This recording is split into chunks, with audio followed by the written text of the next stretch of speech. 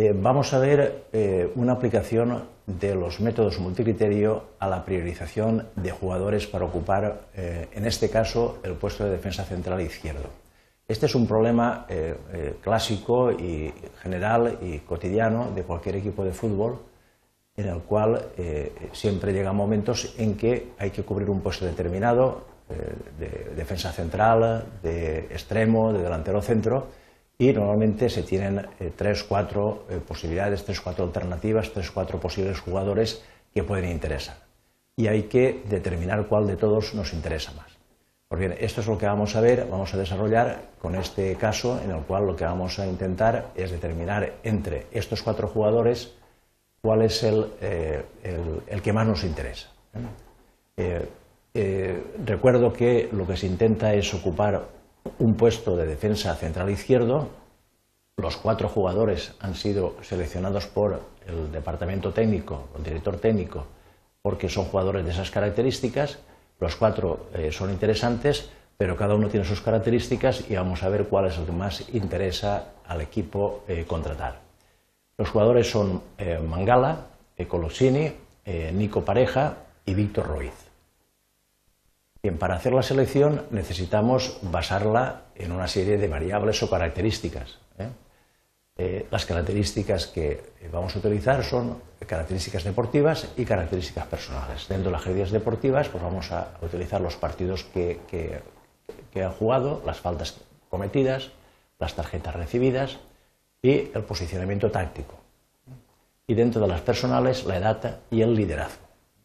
Y eh, eh, recuerdo que los jugadores a, comparar son Víctor Ruiz, Colosini, Nico Pareja y Mangala. Y entre ellos, utilizando estas características, vamos a ver cuál es el que, jugador que más nos interesa para ocupar esa posición de defensa central izquierdo. Lo primero es ponderar las variables, ver la importancia de las variables. Por un lado, tenemos la matriz de comparación pareada a las variables primarias, por, otro lado, la, matriz de la ponderación de las variables deportivas y las variables personales. Para determinar finalmente cuál es el peso de las variables, multiplicamos en cada caso la ponderación de las variables primarias por la ponderación de las secundarias. De manera que, al final, la ponderación final de los partidos que ha jugado son el 38,43, las faltas cometidas un 12,32, las tarjetas el 8, el posicionamiento táctico el 23%, la edad el 8 y el liderazgo el 2,78. Ya ponderadas las variables, pasamos a ponderar los jugadores con respecto a las variables cuantitativas, ¿eh? que son los partidos jugados, las faltas cometidas, las tarjetas y la edad. Eh, hay que eh, precisar que aquí tenemos una variable directa y tres variables inversas. Como son variables inversas, las convertimos en directas, en este caso mediante el cociente. O sea, el, 0,0250 es 1 partido por 40. El 0,25 1 partido por 4 y el 0,05 1 partido por 20. Ya transformadas en directas, las normalizamos y este es el vector propio de los jugadores con respecto a estas variables cuantitativas. Y había una variable cualitativa que es el posicionamiento táctico, para ello, eh, perdón, había dos variables cualitativas, el posicionamiento táctico y el liderazgo, para determinar eh, su vector propio lo que, para evitar la ponderación de los jugadores con respecto a, esas variables, utilizamos las matrices de comparación pareada y este es el vector propio correspondiente de cada matriz.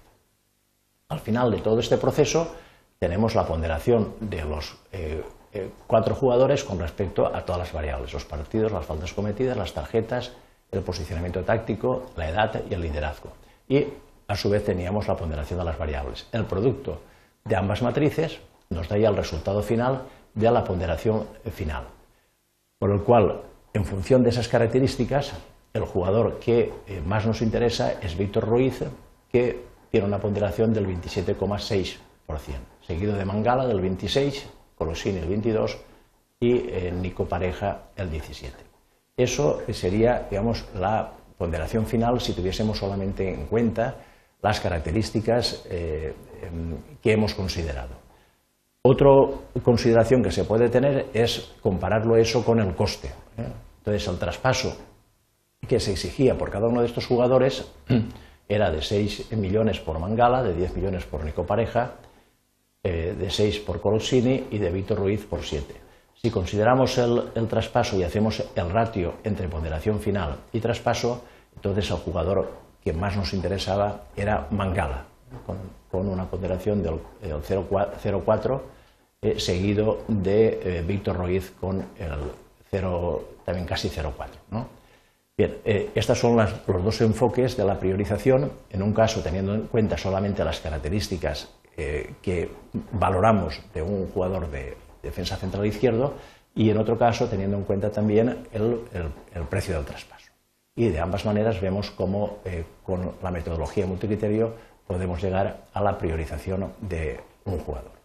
Con esto damos por finalizada esta aplicación de los modelos multicriterio a la priorización de jugadores para un, para un puesto determinado.